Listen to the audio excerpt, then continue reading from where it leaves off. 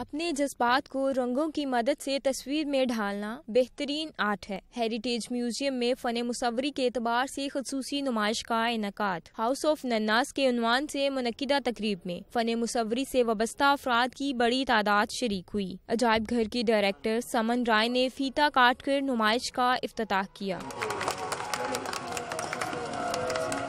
نمائش میں آرٹسٹ اجاز انور کے بنائے گئے پچاس سے زائد نمونے پیش کیے گئے۔ رنگوں کے بہترین امتزاج سے بنائی گئی پینٹنگز حاضرین کی نگاہوں کا مرکز رہیں۔ آرٹسٹ اجاز انور کا کہنا تھا کہ تقریب کا مقصد مصوری کے ذریعے شہر کی دم توڑتی ثقافت کو اجاگر کرنا ہے۔ جو شہر لاہور ہے، وہ دنیا میں کہیں اور نہیں ہے۔ اس کی ثقافت ہے، اس کی روایات ہیں جو سب دم توڑ رہی ہیں۔ ایک پیغام ہے کہ اس شہر کو بچا لیا جائے۔ یہ ہمارا قومی ورثہ ہے۔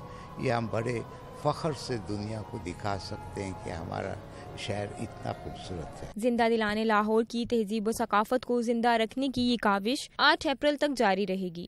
لاہور کی تاریخی اور قدیم عمارات پر مبنی یہ پینٹنگز جہاں لوگوں کی توجہ کا مرکز رہی وہی کینوس پر بکھرے رنگوں نے لاہور کی داستان بھی سنا دی۔ کیمرمین سلمان راجہ کے ساتھ نتاشا رحمان لاہور نیوز